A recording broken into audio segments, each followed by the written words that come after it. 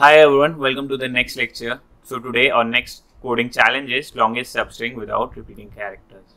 So what this question is about, you have a string, you need to find the longest substring with, without any repeating characters. I hope you solve it and we'll see you on to the next lecture. Thank you everyone.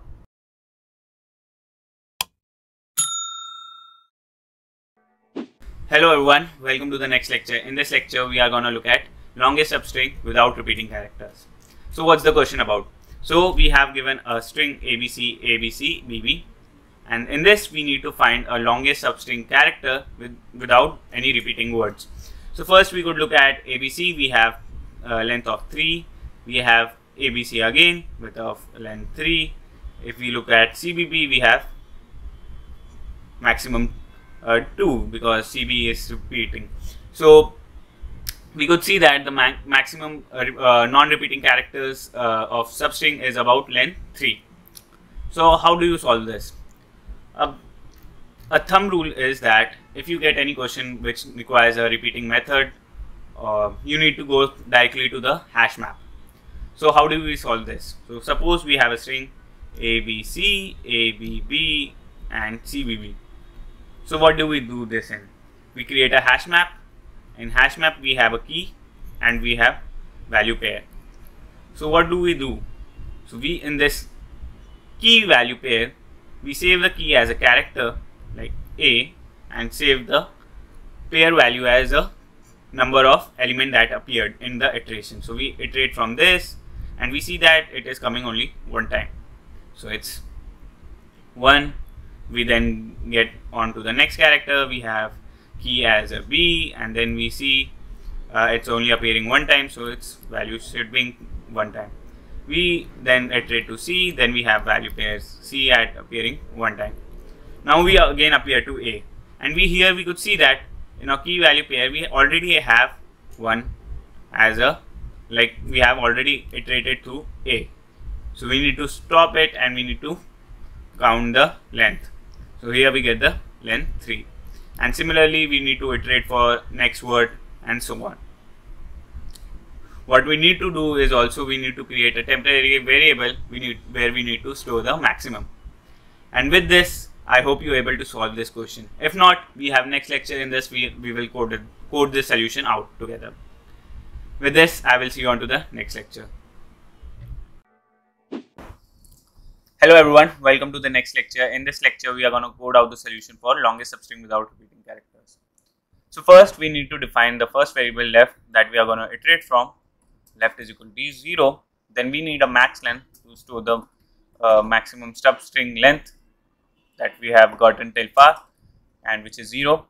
And then we need a dictionary to store the character value char count and this should be the empty dictionary then we need a right pointer that to iterate till the last of the string. So for right and range, then we're gonna iterate whole string, so till length of the string, and then we we gonna check if s dot right is if not in um, if not in our character count dictionary then we're gonna add it this character count. If not in character count then we need to add those. So we add s right? Sorry. Okay. S right. S right. Then we're gonna define it as a it have been added. Then we're gonna increment the value for it.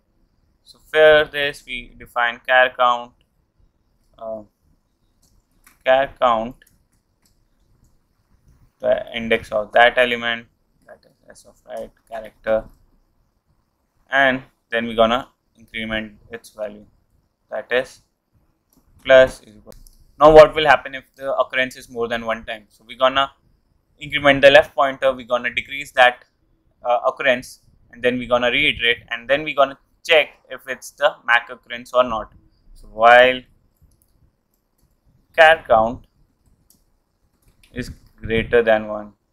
So if we check if the character count is more than 1 then we uh, if char count uh, occurrence of the character is more than 1 we're gonna decrease it we're gonna increment the left pointer and we're gonna check if it's, it's the maximum longest substring or not and now we are going to check if it's the maximum length or not we're to check if it's max length or not.